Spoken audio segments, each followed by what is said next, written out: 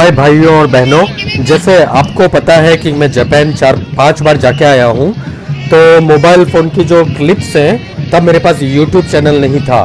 तो mobile channel की clips मैं इकट्ठा करके एक वीडियो बना रहा हूँ, अपनी मेमोरीज को परमानेंट रखने के लिए, ताकि यूट्यूब में वीडियो के थ्रू देख सकें।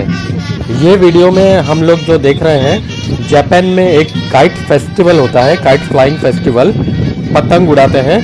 लेकिन दैट इज़ टू सेलिब्रेट छोटे बच्चे, किसी के घर में बच्चे पैदा होते हैं या बच्चे का बर्थडे होता है तो वहाँ पे एक स्पेशल डे होता है तो उसके सेलिब्रेट करने के लिए ऐसे बड़े ग्राउंड में काइट फ्लाइंग फेस्टिवल करते हैं। और वहाँ की जो पतंग है, बहुत ही बड़ी होती है, जिसको बड़े बड़े रस्सों से उठाया जाता है।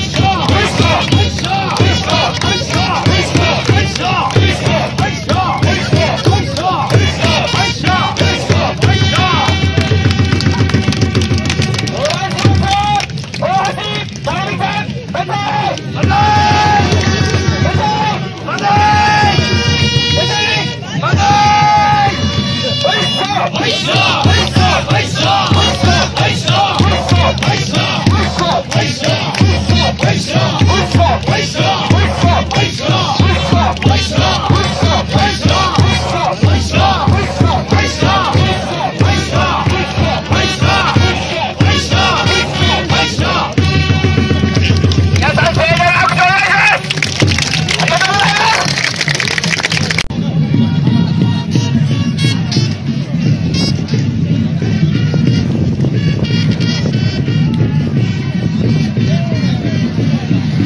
Hi guys, uh, so I'm just compiling all my small video clips uh, that I had on my mobile during my trip to Japan.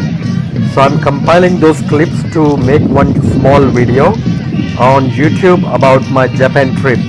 Um, this video is all about kite flying festival in Japan. Uh, in Japan, this they have this day where they celebrate. Uh, it's called Boys Day for boys for small boys any family that has got boys uh, they celebrate this day and they just fly, uh, fly kites and the kites are really really huge and they use very strong rope to try and fly the kites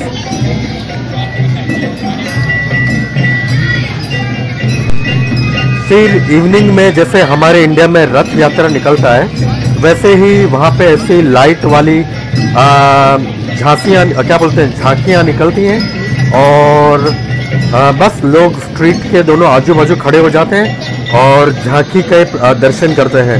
तो छोटे छोटे जैसे अपने Republic day में कैसा होता है वैसे छोटे छोटे कैबिन्स बने होते हैं लाइट्स होती है अंदर कल्चरल शो कर रहे होते हैं अंदर डांस और म्यूज़िक तो बहुत बढ़िया लगता है।